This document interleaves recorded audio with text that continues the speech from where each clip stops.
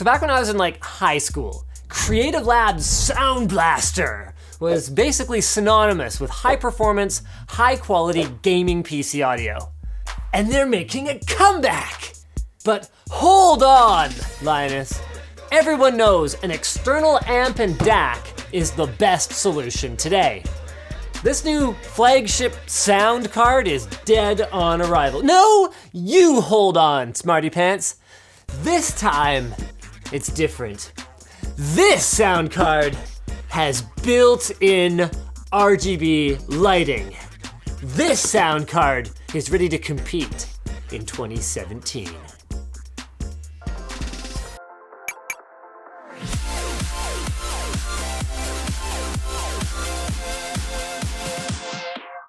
The ProTrek Smart from Casio features Android 2.0, energy efficient GPS functionality, water resistance up to 50 meters, and more. Check it out now at the link below. So in a nutshell, the Sound BlasterX AE-5 is Creative Labs' latest attempt to marry a great DAC chip, the ESS Sabre 32 9018, and a great amplifier circuit to a form factor that's convenient for PC users if a little unfamiliar to the younger generation. So taking a peek under the EMI shield, we are greeted by the Sabre DAC right there in the middle, as well as, this is interesting, all the main capacitors are high quality WIMA films, and interestingly, while the rear jacks are all grounded to the bracket, the headphone jack is the one exception. It's grounded internally to reduce crosstalk with the rest of the outputs. Cool. Of course, it's not quite as impressive looking as the inside of a Modi 2 and Magni 2 a popular standalone stereo DAC and amp combo that enjoys the usual advantages of these solutions, particularly very low interference thanks to widely spaced PCB components, not to mention being outside the computer case. We did notice though that Schiit Audio's products used fewer film capacitors and more giant electrolytics. And we also noticed that they have boring white LEDs on the front versus Creative's homegrown Aurora reactive lighting system, which is basically individually addressable RGB lighting on yet another damn separate piece of software to install, alongside Aura Sync, Corsair Link, and Razer Chroma. That and what a missed opportunity this is. It doesn't even have a music reaction mode. So we'd recommend just ham-fisting the proprietary connector on the included strip onto an ASUS header and otherwise ignoring it. I mean, this is supposed to be a sound card, not an RGB controller card. Like I'm, I'm having flashbacks to when they started putting FireWire ports and like joystick ports onto sound cards. Come to think of it, that was also creative. So then, the main attractions in Creative Software Package are the BlasterX acoustic engine and Scout 2.0. Most of the acoustic engine is Creative's usual fare, surround, crystallizer, bass, smart volume, and Dialog Plus. Crystallizer can help with compressed streaming audio, and while Dialog Plus sounds weird for music, it can help with other types of content. I would leave the rest of them off, but those two can be kind of useful. Scout 2.0, on the other hand, completely worthless.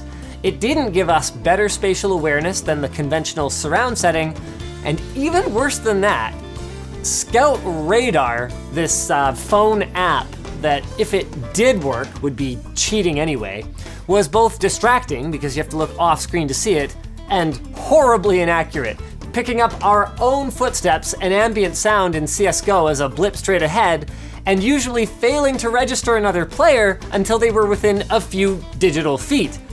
Relying on this thing would be a great way to boost your being knifed to kills ratio.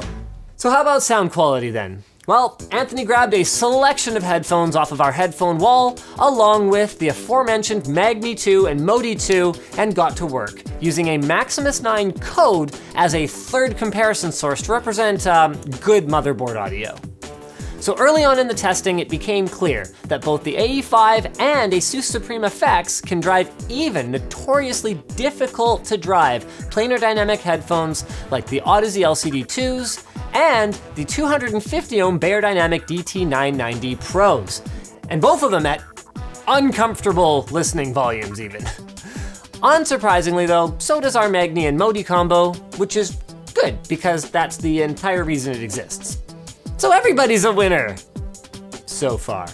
Audio quality was a different story. Even without the surprisingly easy to use, draw it the way you wanted EQ, highs are crisper and lows are smoother than our onboard audio, which is especially apparent in electronic music where high-pitched cymbals and snare drums sound notably coarse by comparison. Rock and metal sound significantly less noisy, which is to say that everything doesn't devolve into a mess of riffs and cymbals as happens with lower quality outputs, and meanwhile, symphonic music sounds quite a bit smoother and fuller. With that said, comparing the AE5 to our only slightly more expensive Schiit, it comes pretty close. Um, both of them are a significant improvement over onboard, and I'd say the edge, especially in quieter passages, goes to Schiit. Now, obviously the AE5 has the advantage of not taking up any additional desk space. That is to say, as long as your MO isn't to take it and put it on a desk in front of you and talk about it to a camera. Um, it also, though, has a one less obvious drawback. That is, unless you want to use your case's often very poorly shielded front panel audio jacks, you'll need a long headphone cable to plug into the dedicated headphone jack on the rear I.O. So bottom line then, once upon a time, filling up all your expansion slots was like the mark of a baller system. And that's not lost on me here. What is though, is the fact that something like this has one very specific purpose, to be plugged into a compatible computer. Meanwhile, external sound solutions are more versatile.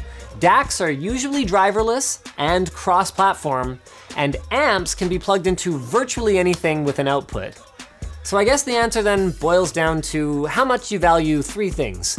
Creative software, including, yes, the RGB controls, their 7.1 surround support, and whether you're like into filled up PCIe slots. Anker's power delivery charging enables faster and safer charging as well as more power for your larger devices. And USB-C connectors are super handy because they allow you to use the same cable to charge your smartphone, tablet, and even a supported laptop with no separate power brick required.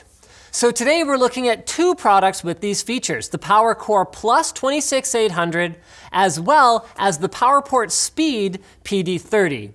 Both of them have a USB-C port that can deliver up to 30 watts, as well as up to two regular USB ports. They've got hard-wearing matte exteriors, this one's made of aluminum, which is pretty nice, with high gloss detailing and these kind of cool blue USB ports to provide a sleek look. The foldable plug and compact size means that you can take them with you wherever you want to go, and you can check them out through the links in the video description.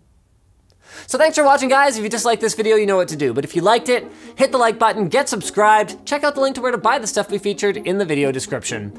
Also down there is our merch store, which has cool shirts like this one, and our community forum, which you should totally join.